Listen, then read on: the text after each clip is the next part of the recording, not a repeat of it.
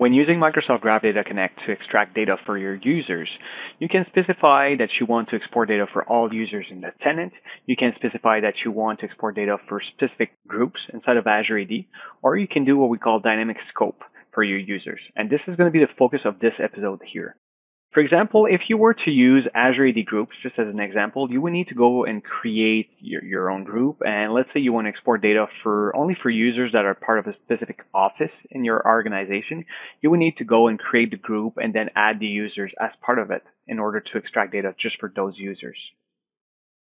What if we want to make it more dynamic, right? And we want to go and specify a scope of users. And in this case, imagine a scenario where I want to only extract information for users that are assigned to the Ottawa office in my organization. Using Microsoft Graph API, I'd be able to query this using the user query. So you can actually go in Graph Explorer and take a look at this. And I'm actually filtering based on city equals to Ottawa. And that will return a list of users that are part of the Ottawa office.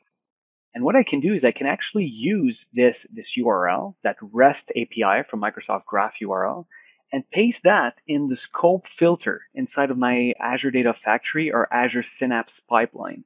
So when you go in, if you do select groups from Office 365 tenants, you're only going to get the option of selecting groups. But if you keep it to all users in the tenant, you have this scope filter field that's available to you, and you can just paste in that query that I just wrote and I tested using Graph Explorer, and that will only get information for users that are coming back from that scope. So in this case, that are part of the Ottawa office. Once you're done specifying the user scope, you can simply publish and trigger your pipeline, and that will automatically extract the information for just these users inside of your Azure storage account.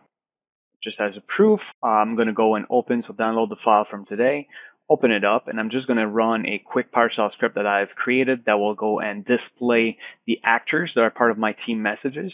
In my case, all users from the Ottawa office. We have Nestor, we have Nick, uh, we do have uh, Patty that's going to be in there. So you can see quickly that all actors were indeed part of the scope I specified.